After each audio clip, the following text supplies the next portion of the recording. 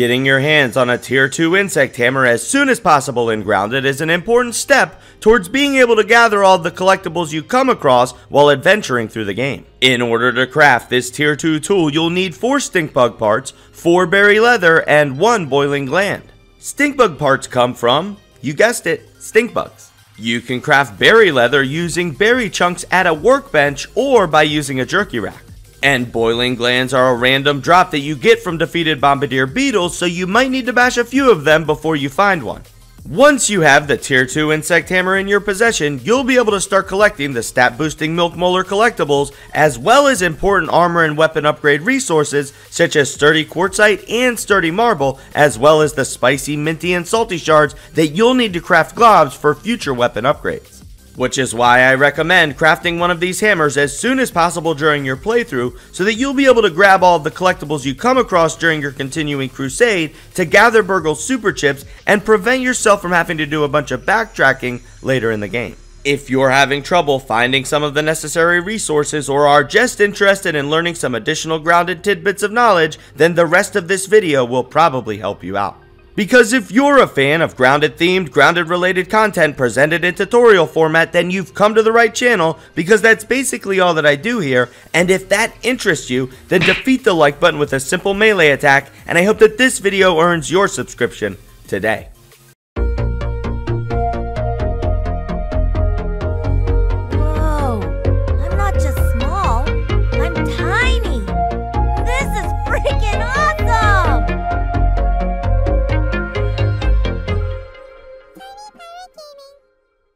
What up? It's Tiny Pirate Gaming, here with another grounded tutorial that's going to cover in rich detail everything you need to know about obtaining a tier 2 insect hammer in Grounded.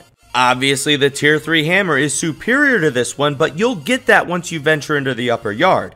Having a tier 2 hammer during your adventure in the lower yard is vital to gathering milk molars and sturdy upgrade resources that you'll definitely want to use to boost your stats and enhance your gear before venturing into the significantly more dangerous regions of the upper yard. As I mentioned before, you're going to need stink bug parts, berry leather, and a boiling gland to craft this hammer. Berry leather is probably the easiest of these resources to acquire since all it takes is gathering some berry chunks from the hedge and then using either a workbench or a jerky rack to convert the chunks into berry leather. Using a jerky rack will maximize your leather production as it converts the berry chunks on a 1 to 1 ratio, whereas using the workbench will require the use of 3 chunks to make a single berry leather. You'll need bombardier parts and crude rope to craft a jerky rack, and since you'll also need a boiling gland to craft the insect hammer, you may as well bash a few bombardier beetles to gather what you need.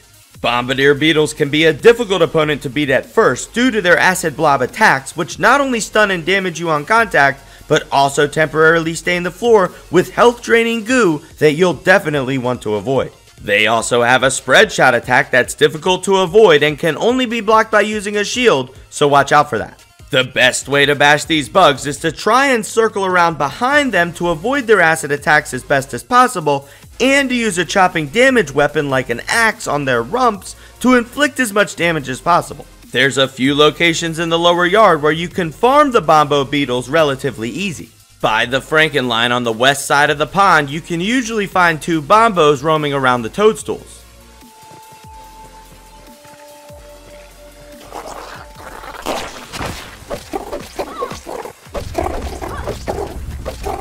There are two more of them near the Squirt's milk carton around the southeast side of the pond and close to the hidden lab where the pinchwhacker can be found.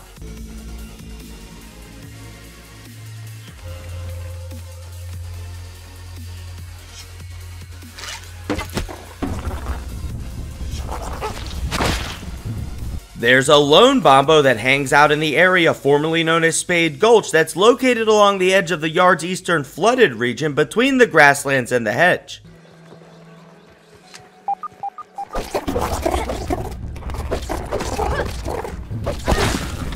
And under the east corner of the house's porch, you can find a trio of bombos usually patrolling atop some rocks near the western corner of the hedge.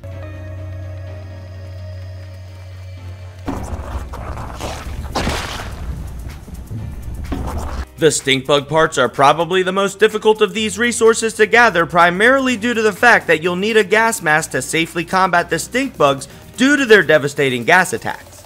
In order to craft a gas mask, you'll need one weevil nose, four gnat fuzzes, two crude ropeses, and one stink bug part. I recommend using the web sack technique to acquire your first stink bug part and build your first gas mask because as I just mentioned, stink bugs can be very difficult to defeat without one. Once you have a gas mask, however, you'll be able to combat stink bugs without having to worry about their life-draining gas attacks depleting your HP. The gas will, however, deplete the durability of your gas mask, so I recommend trying to keep out of the gas as much as possible. Once you're ready to start your stink bug harvest, there's a few places in the lower yard that you can find them fast and easy. The best spot for maximizing your harvest is located in the clearing area between the Haze region and the Red Anthill, where you can find 5 stink bugs usually lounging around a cluster of dry grass and dandelions.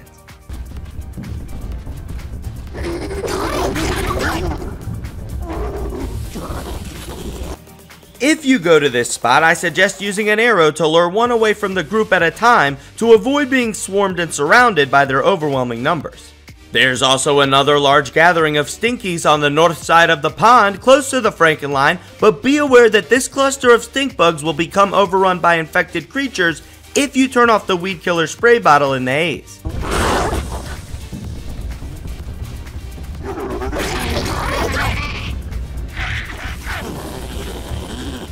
If you'd rather only fight one, then you can find a single stink bug on the east side of the oak tree around some roots and dry grass.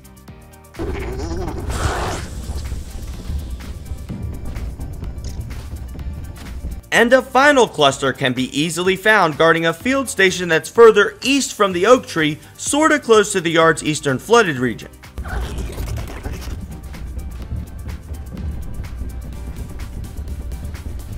Once you have all the necessary resources, you'll be able to craft the tier 2 insect hammer, a vital step towards leveling up your stats and gear to get yourself ready for the challenges that await you in the upper yard. Not only does the insect hammer allow you to collect milk molars, quartzite marble, and the spicy minty and salty candy shards needed to level up, but it also serves as a decent weapon against creatures that are weak to busting damage types like ladybugs and ladybirds, but to be honest, the hammer's attack speed usually means most any other weapons will also put in the same amount of damage in the same amount of time, so I rarely use it myself in combat. Anyway, that's the end of the tutorial, and if you enjoyed it, then don't forget to like and subscribe! You can also follow me on Twitch for live streams, Twitter for channel news, and join the Tiny Pirate Gaming Discord for discussions on grounded gaming, content creation, and more, along with me and the rest of the hashtag Tiny Crew.